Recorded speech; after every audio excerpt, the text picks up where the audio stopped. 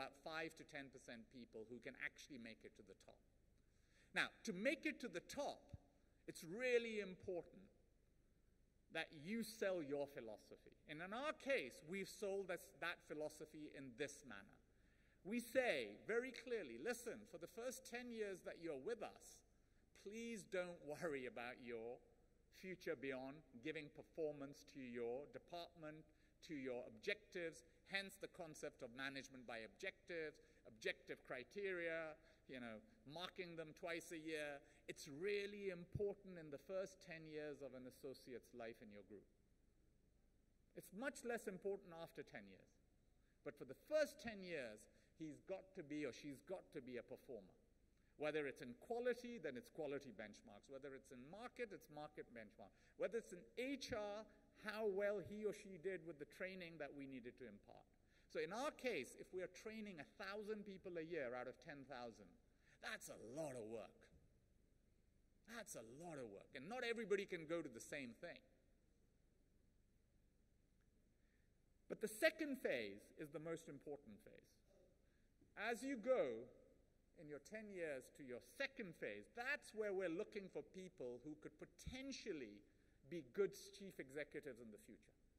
So we start making IDPs, which are these individual development programs. We start tracing the people who are the best in their first 10 years. And with that IDP and the feedbacks, a bit like the army, you get feedback. Not everybody makes it to staff college right? Not everybody makes it to additional secretary. Now, these are institutionalized institutions. and you need to bring this in.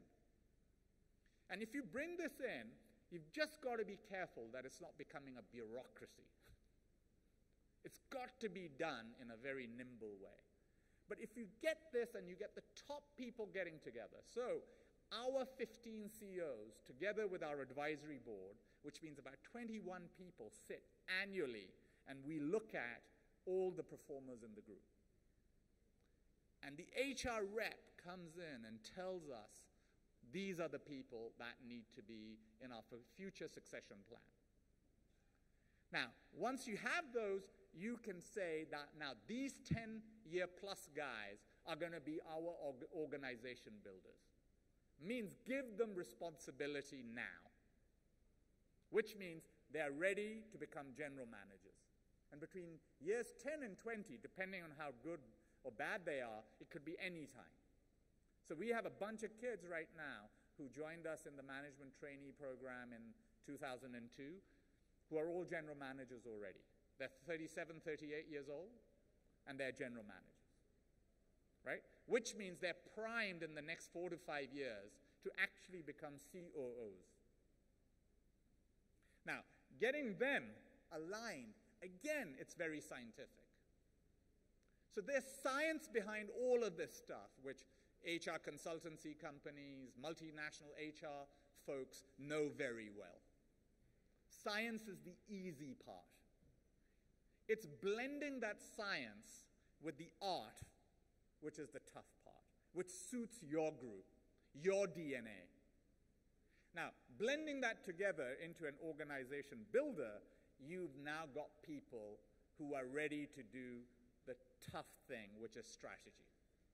Sitting at age five in the company and trying to make the company strategy is tough. It's really tough, especially if you're joint ventures. Your partners don't respect you. So, getting you to that phase where you're actually talking about company financial cost down, product lineup, pricing, HR strategy necessitate, necessitates that you have experience. It's really important. When Zuckerberg gets Sheryl Sandberg in, he gets experience. And that's what makes it happen. So in our case, taking a manager from a performer stage to an organization builder stage to a strategist stage is now a clear path to developing him or her. It's really important. If you don't have this philosophy and you just cut and paste management books, it's not going to work. It's same thing's going to happen to you as it happened to our founder in the 80s. Cut and paste doesn't work. You've got to get the four soft parts right for your group. Now, last but not least, I think what's really has hit me over the years is that so where does that leave us with the word institutionalize the group? Now, once you've done all the HR stuff, you're hoping that your group or company has migrated from a team into an organization. But taking your organization and making it into an institution requires a lot more to do.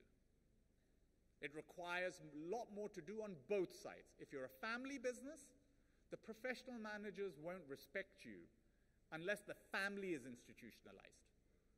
How do you institutionalize the family? One, you've got to make sure that they are not direct owners of listed companies. You've got to take the family out of owning shares in listed companies. Their shareholding needs to be in an institution, which is privately held. So everybody is aligned. And there's no blackmailing that I'll sell the shares if you don't listen to me. Number two, you've got to announce the succession in the family. So in our generation, we got together and we announced it. Our chairman, myself, and Sanat Qureshi Saab, we sat down and we said, selflessly take yourself out. So I took myself out of the running. Number two brother was made the group president. And the number four brother is 20 years younger than the number two brother. And we said, You are the you know, tentatively selected president. We're going to groom you. And announced. So professional managers know who, who we're dealing with. It's a, it's a family. Is it a family business or is it a business family? The Quandts of BMW are a business family. The Toyotas of Toyotas are a business family. Are you a family business or a business family? That we needed to do. And the hardest part of that is you've got to pay each of the family member well in terms of dividends. So the company and the groups are doing well. If they do well, the family takes care of itself. Luckily, in our case, we institutionalized the family in 1997. We made a payoff to each family member. Here's your inheritance in terms of liquidity. This is your role. And for the next generation, we made it clear that if you come in, there's a board, selection board, that's going to take you up or not. And in terms of the group itself, professional managers, it was very important to hear what they wanted to say. Is it the Shirazi group or is it the Atlas group? And for that, we needed to go back to them. And we went back to them and we actually, over the last decade, asked them what is important to you over what we've done. So if we can go to the last slide. So we actually came up with something that they wanted us to do. They say, yeah, Honda has its way, Toyota has its way, BMW has its way. Why can't we have the Atlas way? So we said, okay, if that's important to you. And everybody said, no, it's important. We want it written down, and everybody carries it in their wallet, this small little card. Now, it sounds a bit paranoid, you know, a little too organized. But I'll tell you something, it works because you get buy-in. So what have they told us to do? So in terms of Atlas culture, they said, listen, value for time. 8.30 means 8.30. This conference starting at 9 means 9. Leaving for home on time. Spending time with family is important to us. So write everything down. So we wrote everything down. And now when a class comes in, management training class, it's unbelievable. It's these Atlas guys who are telling the newcomers, this is what we're all about. Atlas systems, what does it mean? How do we measure people? They said, well, we better write these things down. It's a work in progress. But the important part is, believe it or not, this is shared values. So while we might have done style, हम साब कहते हैं हर एक को किसी को पहले नाम से नहीं बुलाते it's important. Chota ho bada. Respect, recognition, reward. We haven't won, We've done skill, style, staff. We haven't won. We're not an institution yet. But the day all of this is embedded the way it is in Toyota, the way it is in the civil service, the way it is in the army, perhaps not this generation, but the next generation might be in a position to be called an institution. The problem of Pakistani businesses is that we've done well up to now, but not a single Pakistani group or company right now can be called an institution. That still belongs to the multinationals. That's the leap we need to make in these coming days and years to get that. And it's going to happen through a focus on HR, systems, methods. With that, thank you very much. I hope I didn't take too long.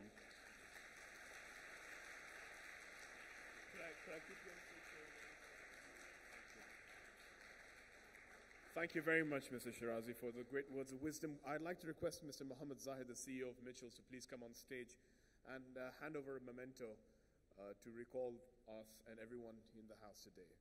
See if Mitchell's Mr. Mohammed Zahid.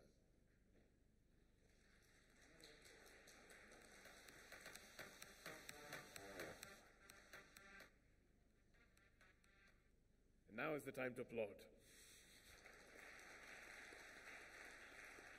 Thank you. Thank you very much, sir. Thank you.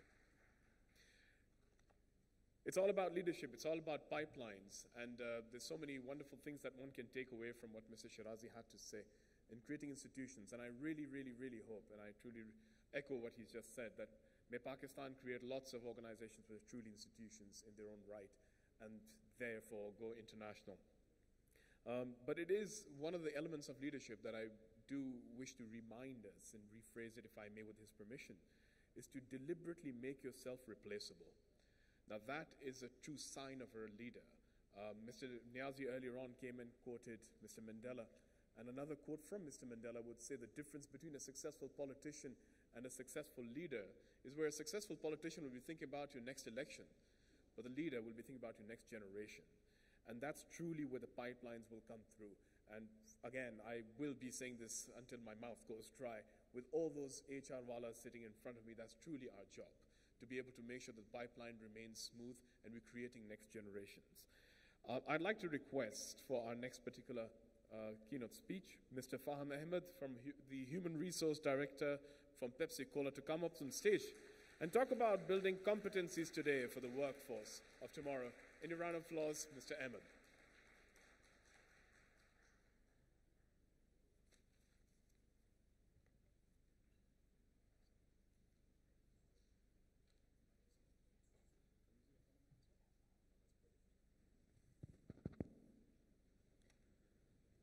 अस्सलाम वालेकुम क्या आप लोग मुझे सुन सकते हैं जो पीछे टेबल बैठी है आप ज़रा हाथ खड़ा कर दें आप मुझे सुन सकते हैं Okay, fantastic. Um, thank you very much, PSTD. Um, thank you for giving uh, me the opportunity. Now, engage with meaning and build competencies for tomorrow. So I'm going to build what Amir Saab has mentioned, what Shirazi Saab has mentioned. But what we need to do, we need to ha have a separate lens, a different lens to look at the competencies which we'll be needing tomorrow. But before we go there, and if technology works, thank you. So, so before we go there, the traditional model is that you have to have proven um, results, either it be business results or people results. And then uh, during your career, you, you need to acquire functional excellence, um, you need to know the business code, acquire critical experiences, and ये तमाम चीज़ें जो हैं they will get you different opportunities and you will grow in your career. But सवाल है कुछ और सवाल ये है the competencies which were very in in 20th century are they valid today? So we'll have a and we're also aware of the fact that things around us are changing very rapidly, very fast, very dynamic. So so, अगर मैं आपसे ये पूछूं कि आप में से कितने लोग इस तस्वीर के साथ ओके okay, इस तस्वीर के साथ कितने लोग अपने आप को बता सकते मुझे बताएंगे क्या है हाँ टेलीफोन टेलीफोन एक्सचेंज बिल्कुल so in sixties one of the profession जहाँ पे बहुत बहुत पॉपुलर था एक कॉम्पिटेंस थी आपने कोई ओवरसीज कॉल करनी है आप बुक करते थे और तीन मिनट्स के बाद जो है वो कॉल मिलती थी telephone exchange okay so telephone exchange आपने देखा इसी तरीके से typewriter and telephone set this technology is there any more no Pakistan में टेक्निकल एजुकेशन कॉलेजेस के अंदर typing use to be a profession typing improving typing speed use to be a skill which people use to acquire and people used to get jobs based on the typing speed they have. Today, this is, this is not required anymore. क्यों इसको replace कर दिया mobile phone ने Today we have a technology on our palms. हमारे पास access है ना सिर्फ voice की, data की, internet की, बल्कि financial services की भी. कोई यहाँ पे बैठा है जिसके पास mobile phone ना हो? कोई यहाँ पे बैठा है जो WhatsApp ना करता हो, जो अपना online banking ना इस्तेमाल करता हो? Anybody है? Thank you, sir. I, I, need to spend some time with you after, after this session. Please uh, clap for the gentleman. इसी तरीके से um, I would like to show you picture um, Ford company, assembly line, early 20th century, one of the highest paying um, unskilled or semi-skilled job, $5 a day. At that, उस, उस वक्त तकरीबन दो सवा दो डॉलर मिलते थे घंटे के and so many people used to, used to do this job. This has been replaced by this. Today is automation. Today is robots. Today is technology. क्या बना उन तमाम जॉब्स का जो कि उस असेंबली लाइन पे काम करती थी okay similarly another example Amazon आप सब वाकिफ हैं Amazon से they have excellent automated uh, storage and retrieval system you place an order they'll, they'll guarantee delivering it in a very short span of time you know what their next promise is the next promise is Amazon Prime Air. What they're saying is that they're going to do delivery with drones. The moment you'll place order, 30 minutes afterwards, you'll have the order at your home, at your doorstep. Isn't this amazing? But think about what will happen to all those jobs who are right now doing the logistics and warehouse and transport and drivers. All of them are going to be obsolete. Now, similarly, few, few more pictures just to uh, make a point. Maps. We don't use these maps anymore um, these days. It's everything in Google. And uh, floppy disks. I can see um, my generation also sitting here. So, uh, you know, for, uh, for us, this was a big thing in 80s, uh, or I would say. Moving on, similarly, um, still photography is not, is gone. And people who were attached with this profession are not required, uh, their skill set is not required anymore. Televisions, and how many of you remember such televisions? Yeah? आप में से ये जो पीछे लोग बैठे हैं आप में से कितनों को याद है कि यूज टू बी टेलीविजन जिसके आप पास अलमारी होती थी and use to put a lock yeah so now now it's, it's gone now we have a smart tv so even my my little daughter who's just uh, four she knows how to go to youtube and uh, find a program so gone were the days and, and, and technology gets obsolete. It's same with, with these cassettes. How many of you, I'm, and I'm not doing any stereotyping, please, I have a huge respect for female talent, but how many of you do take um, sewing, knitting uh, as a skill today? How many of you actually go there? This one person, two. Please put a, thank you very much. You're keeping the tradition alive. Thank you very much. Yeah? It, this is not required. We, we normally we don't spend time, time on this. Now this is very clear that we have to change. And why? Because cracks are very, very um, evident. If we don't change, our skill set is going to be obsoleted. The competencies we have today, the competencies we are acquiring today are not going to be valid tomorrow. So 50 years down the road, there'll be different skill set which is altogether required. Now, before we understand कि जी हमें कौन सी skill चाहिए, uh, आपको कौन सी skill चाहिए, let me do an exercise with you. Let me, let me divide your whole life into three stages. And we call it a three-stage life breakdown. And, I, and you would say education, experience, and retirement. अगर मैं आपसे सवाल पूछूं कि आप में से कितने लोग रफली एक बताएं कि तालीम कि, किस उम्र तक तालीम हासिल करते हैं बीस, पच्चीस, तीस, किस उम्र तक आप तालीम हासिल करते हैं अपनी ज़िंदगी में? Yes all the life yes academic education university college before you start work 25 या अराउंड 25 ओके काम कब तक करना है? वॉट आर योर प्लान कब तक काम करना है? 50 ये जरा 40 साल तक जिन्होंने काम करना है, वो जरा हाथ खड़ा कर लें। Right right. जिन लोगों ने 50 साल तक काम करना है, वो हाथ खड़ा कर लें। ये 60 साल वाले तक हाथ खड़ा कर लें। ओके वेरी गुड और इसके बाद इसके बाद क्या करेंगे? रिटायरमेंट के बाद क्या करेंगे? आफ्टर 60 आराम करेंगे। आराम किसने कहा जी? I come to that if you move on so of course you have you have education around twenty five twenty seven years you have work any way between forty to sixty sixty five and similarly you will have retirement um, 60 afterwards. Now if I share something that 50% of people who are sitting here right now, you are going to live up to 100 years. 50% of people sitting here, you're going to live up to 100 years.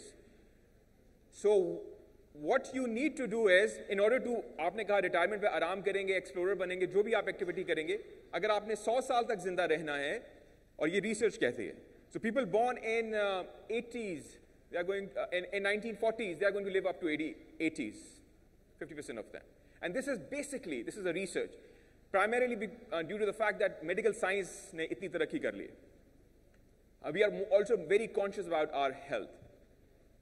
Now, uh, ये कुछ data है, statistics हैं, and you could also see the source. Um, कि Japan में, for example, 107 uh, की एक average uh, life होगी.